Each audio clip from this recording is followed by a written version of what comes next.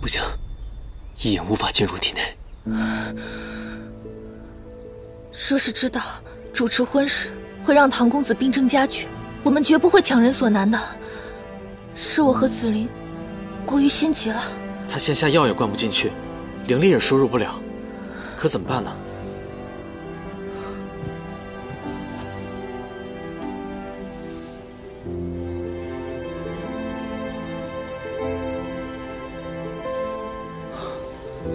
现如今，仙力已经溢出躯体了，用不了一日，他便要仙力爆体而死。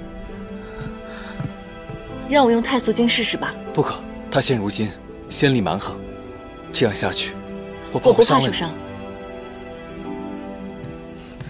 唐周如今经脉闭塞，你用太素经也是无用啊。那个神明人一掌便封了他所有经脉，太素经里有九九八十一式，我不相信这些招式救不了他。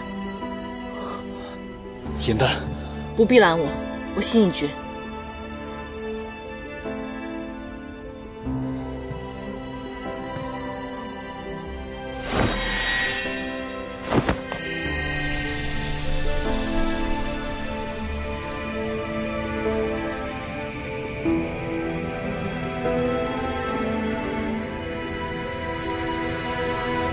颜淡，颜淡，你没事吧？我没事儿，我没事了。颜淡，你这样救不了他，反而会自残。颜淡，不要伤害自己了。我知道你们是为我好，但请你们让我救救他，请你们让我试一试，可以吗？颜淡，于墨，你让颜淡再试一次，如果还是不行，我们再想别的办法啊。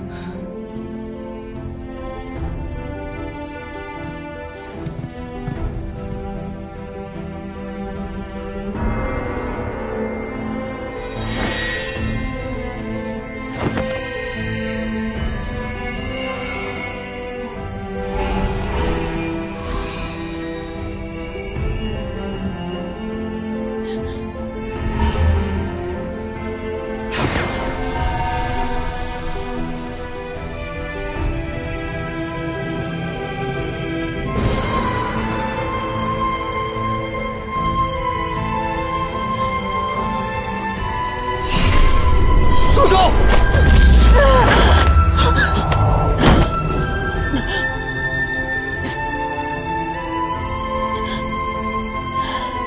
我还想再试一试。颜淡，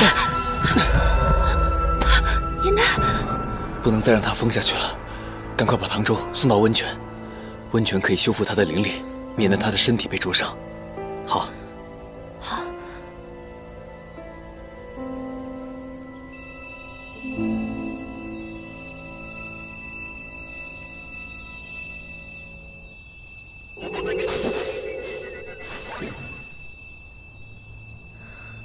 果真在此。知悉啊，有件事您牵连甚大，说了怕是要受连累，我就一直没有告诉你。如今这野兰山境中，难道这山境中，当真有什么古怪？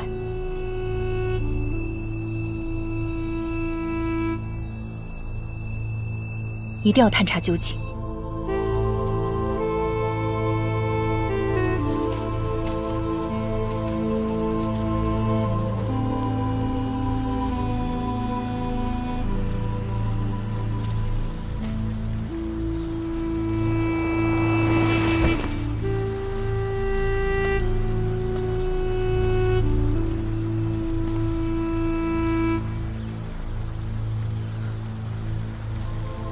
应元君，他没有死。